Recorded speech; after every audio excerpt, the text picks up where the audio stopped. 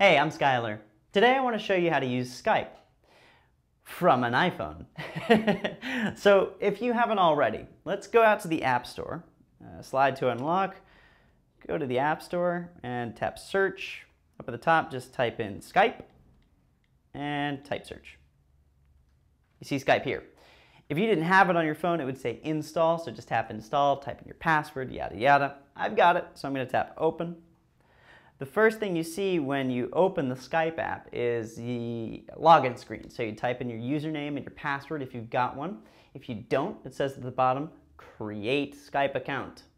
Just tap on that and follow the directions. Once you're through, tap lists up here at the top and then tap online contacts and it'll tell you if you've got contacts already who's online. All I want to do right now is place a Skype test call because this will show me um, what the sound quality is like from my device. So I just tap there and then I tap test your sound. It's dialing right now, ringing. I'm going to turn this to speakerphone. Please record a message. Afterwards, your message will be played back to you. So here we are in the Ramble Production Studio testing the sound quality of my Skype call with an iPhone 5.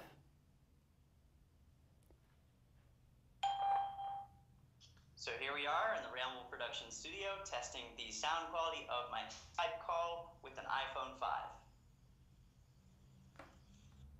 Pretty good.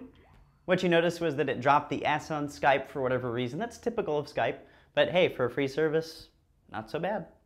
Thanks for watching. I'm Skylar.